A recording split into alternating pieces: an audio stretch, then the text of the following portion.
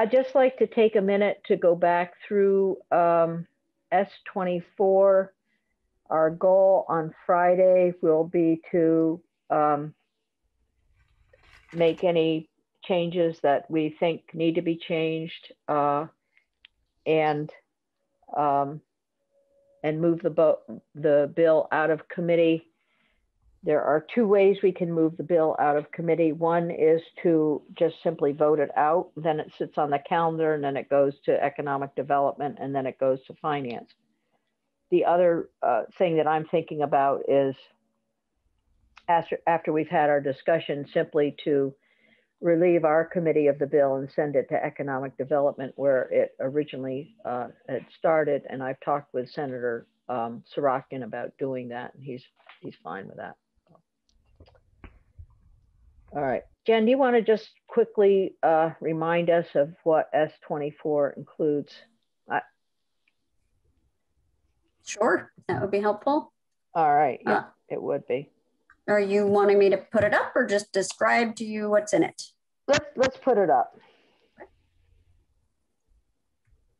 And Nellie has also put it on your committee page if you're got it. interested in pulling it up.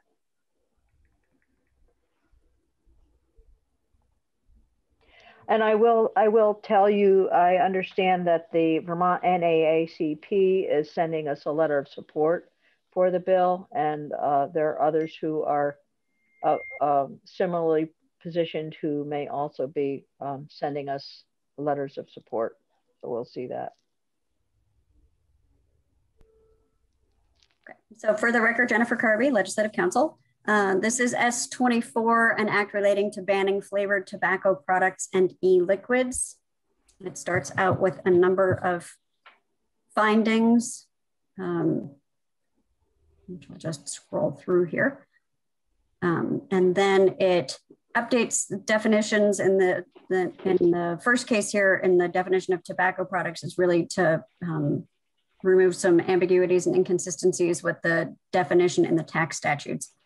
Um, and then also make some changes to the definition of tobacco substitute, which is the statute's term for electronic cigarettes and um, similar devices so that it's a little bit broader and, um, and captures emerging some emerging products.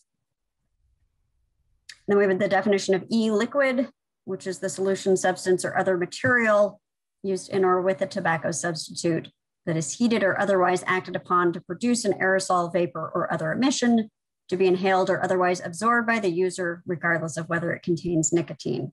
And so then you'll see the e-liquids term being either introduced or used to replace some various other terms throughout some statutes. Starting with the first, uh, this next one here, which is the license required to sell these products. Um, same thing in this next section, also including tobacco substitutes and e-liquids in this exception uh, about where items can be displayed. Then the proof of age statute, again, adding e-liquids in here. 7 VSA section 1005, this would remove the penalty for possession of tobacco products by minors. Um, so it would then just prohibit the purchase and, mis- and the misrepresentation of age for purchasing.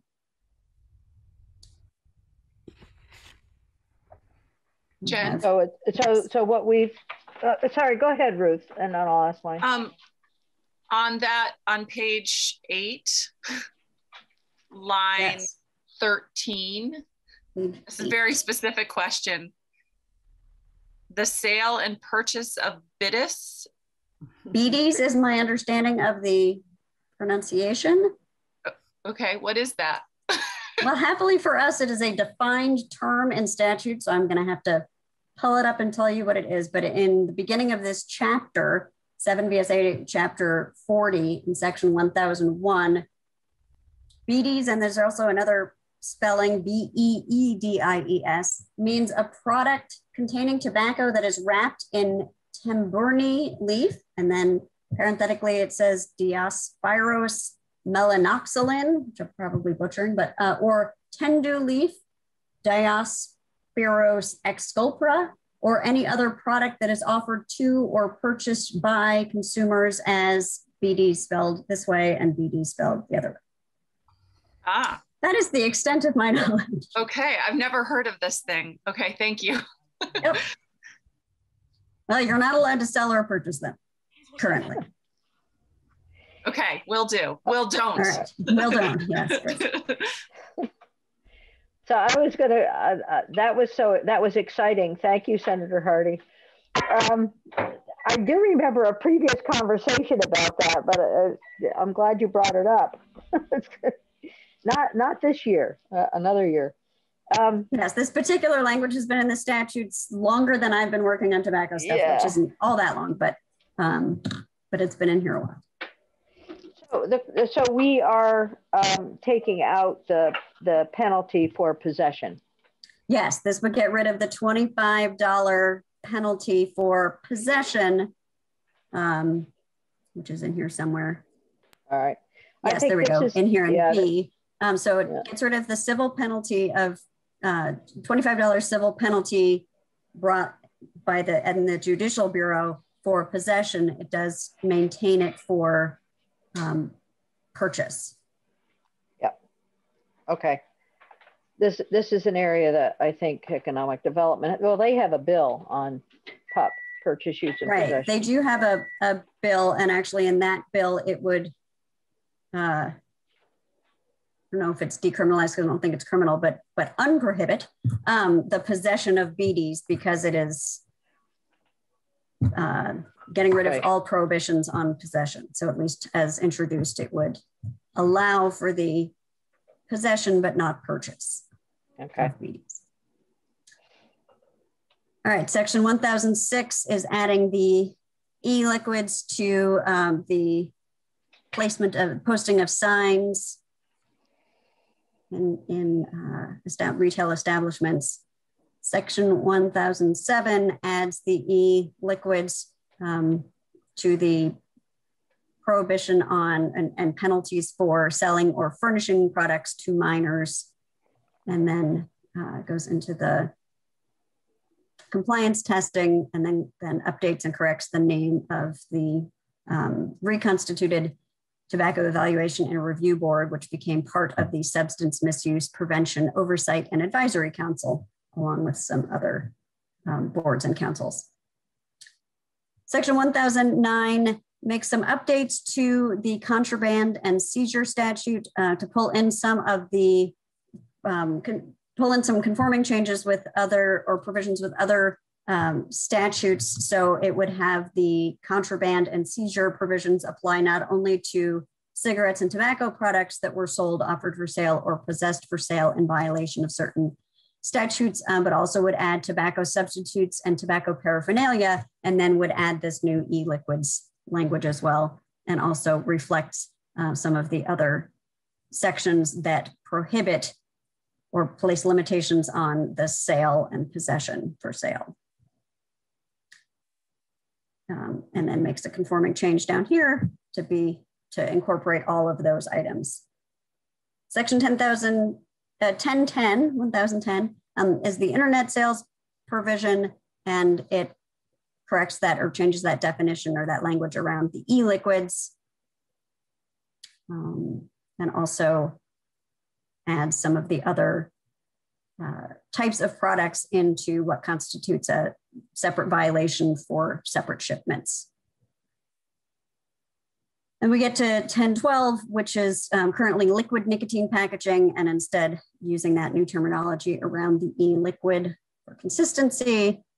And then finally, we get to the, the new section here, 1013, on the flavored tobacco products flavored tobacco substitutes and flavored e-liquids being prohibited.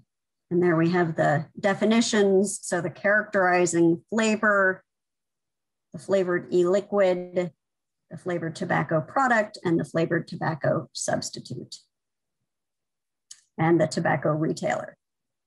Then it prohibits anyone from engaging in the retail sale of any flavored tobacco product, e-liquid, or tobacco substitute. So again, here it's not the possession, it is the retail sale. It's not even the purchase, it's the, it's the retail sale. Um, no retail sale of any flavored tobacco product, flavored e-liquid, or flavored tobacco substitute. And if a retailer or their agent or employee violates the section, the retailer would be subject to a civil penalty uh, like the, the penalties for the sale to minors. And it would be, again, brought in the Judicial Bureau, that's what it means to be brought in the same manner as for a traffic violation. Then it gives the Judicial Bureau jurisdiction over that uh, new offense and also revises the language of the um, minors to be purchase and not possession. Then we get into some conforming um, revisions elsewhere in the statutes. So this is an existing statute elsewhere in um, Title VII that talks about the penalty provisions that apply to other types of products, not applying to violations that are dealt with separately under the tobacco statutes. And so adding e-liquids there. Adding e-liquids to the prohibition on the use of certain products on public school grounds, adds it also to um, the language around the substance misuse advisory, substance misuse prevention oversight and advisory council, and um, makes some conforming changes in the tax statutes definition as well. It's my understanding there's no actual um, policy implication here, but using this same e-liquid language um, and also just making some grammatical changes in that definition. Then section eight um, would have the Office of the Attorney General report back on um, whether and to what extent Vermont can legally restrict advertising and regulate the content of labels for electronic cigarettes and other vaping related products. That has been an issue of interest to a number of people, and there's a lot of um, complexities around the federal law, federal preemption, and case law, um, including constitutional issues and the act would take effect on September 1st. Okay. Can Go I ask ahead. a question? So just in general, this bill would, um, ah, everybody moved, um, would, um, would get rid of the violations about possession of tobacco products. But what about purchase? So it would not allow, it, it would continue to prohibit the purchase by minors. It does not address the purchase of flavored products. It prohibits the sale of flavored products. Okay, so the sale of fa- or the retail products, sale. The retail sale of flavored products, and that would include internet sales as well. So um, these products are not allowed to be, are already not allowed to be sold online direct to consumers. Um, that was something you enacted, I think it was last biennium, maybe okay. last year, last biennium. Okay. Um, so nobody can, can um, ship products ordered online to anyone other than a licensed wholesale dealer or retail dealer. Okay. So for regular, quote unquote, regular cigarettes, non flavored, just the run of the mill cigarettes, it's no long this bill it, according to this bill there's no longer a, a, violation for possessing them even if you're by minors right by minors right. um, but purchasing by minors is still illegal or there's a yep. that's a um, and retail sales to minors are a, is right, still not allowed. That's okay. right. Okay, so it doesn't do anything with the purchasing, and that's something that the other committee um, is interested in looking at potentially, or has a bill that's related to. Right. There's a purchase, use, and possession. Some people call PUP, purchase, use, and right. possession bill that is in the Economic Development Committee. Okay, but this one only deals with possession, not purchase and use, or I'm trying to figure that. Right. Uh, just this is just possession. This okay. is just possession um, and for retail minors. sale of of flavors. And retail sale of flavors. Okay, got it. All right. Thank you. Okay, good. Other questions at this point? I mean, we have been through the bill uh, previously. And I, I did want to, I do have an interest in how folks are feeling about the bill at this point. Uh, and uh, I don't know if you want to do a little show of hands who supports passing the bill out of committee. Um, that would help me. I have a Oh, question, Ginny. yeah, go ahead. With your uh, other choice of sending this bill to economic development again, Oh, well, I, I still want to know how my committee feels about the the bill. question is, um, do you anticipate them including, you know, kind of melding the two bills?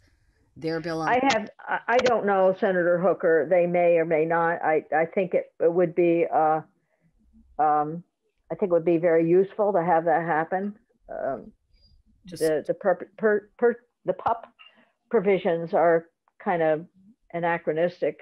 Um, and they capture people for doing something that, uh, you know, I think as Sen- Senator Cummings and I have talked about this and it's the, it's the kid driving down the highway uh, smoking, being pulled over for smoking a cigarette, and especially if it's a, a BIPOC person, you you have concerns about that. okay. Oh. Go ahead, Senator Cummings. You're muted. As long as I'm muted, I can't chime in. Um, I voted for this bill last year with reservations. Um, the most reservations were around the sale to adults of flavored um, tobacco, and that includes Grandpa's cherry wood pipe tobacco. Um, we did this prior to COVID. Um, it was sitting waiting for next week in finance. Um, and since that time, what who we didn't hear from this time to anywhere near the extent we did last year were the adult users of vapes and people that use vapes to step down and it's debatable but there were a significant number of people uh, we had one retailer who was a firefighter and decorated and everything in his hometown who has moved his smoke shop to New Hampshire and is presently servicing all his Vermont customers a mile away. Um, this time, I'm not going to be able to support the bill with the ban on menthol. I, I really have a problem. A history. Um, one of the reasons I voted for the cannabis bill was the testimony of teenagers that it was easier to get cannabis, i.e., there was always somebody in the parking lot, than it was to buy alcohol because you had to get an adult to buy it for you. Um, we admitted when we did that bill, not that it was a good thing, and it most certainly is not going to be a good public health thing, but because prohibition didn't work. All prohibition of alcohol did was create a, you know, a, a huge explosion in organized crime. Um, Vermont being Lake Champlain being one of those conduits. Um, I don't see that prohibiting adults from making bad choices is going to stop them from making bad choices. It will just make them find other ways. My other concern is we did this bill pre COVID. I assume all of you were getting the pushback on mask wearing, pressure to get vaccinations. We have asked more of people, we've asked people to give up more in the last year than we have since World War II, at least, in the way of, you know, you things you just can't do for the public good. I don't think this is the time to tell them when their stress levels are up and they've been making sacrifices for the public that now we're going to take away your menthol cigarettes that you, by the way, are totally addicted to and tell you that you've got to smoke nasty flavored tobacco. And um, I, I just think the timing is wrong. I, I think people, and, and there's nothing in this to increase prevention or cessation services.